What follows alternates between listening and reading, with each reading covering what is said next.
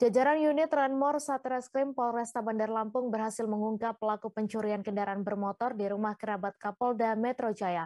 Polisi menangkap tiga orang pelaku yang terlibat curanmor di rumah kerabat Kapolda Metro Jaya di Bandar Lampung. Ketiga tersangka diamankan pada hari Kamis 26 Mei sekira pukul 21 waktu Indonesia Barat.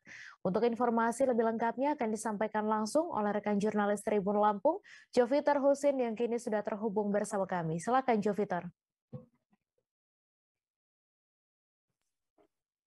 Baik, Mei, eh, ada pun tiga tersangka identitasnya bernama Nuri, Prabowo, dan Wisnu.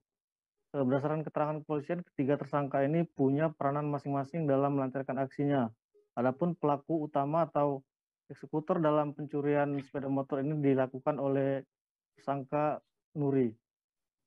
Nuri sendiri per mengakui pernah melakukan lebih dari 100 TKP, salah satunya di rumah kerabat Kapolda Metro Jaya Irjen Pol Fadil Imran di Jalan Dr. Susilo, Pahoman, Bandar Lampung.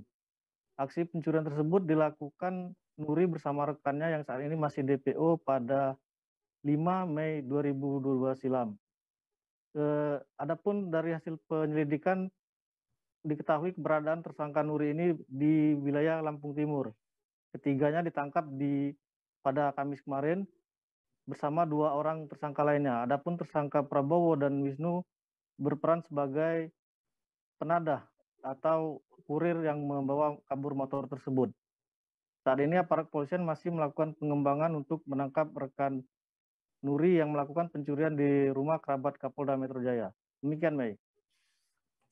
Terima kasih Joviter atas laporan Anda dan Tribunars wartawan kami juga telah menghimpun wawancara dengan Kanitran Mor Polresta Bandar Lampung berikut tayangannya untuk Anda. Terduga curanmor terakhir ditangkap beberapa malam yang lalu karena tim Resmob mengetahui mereka mau melakukan pencurian di Bandar Lampung. Ini kelompok dari Lampung Tengah. Nah, kemudian setelah mereka terendus mau melakukan, Resmob menggiring setelah menggiring ternyata benar melakukan pencurian di daerah Kemili selesai melakukan pencurian Resmob melakukan pengejaran. Karena melarikan diri akan mencelakai petugas mau nabrak akhirnya sebagian lari sebagian bisa diamankan.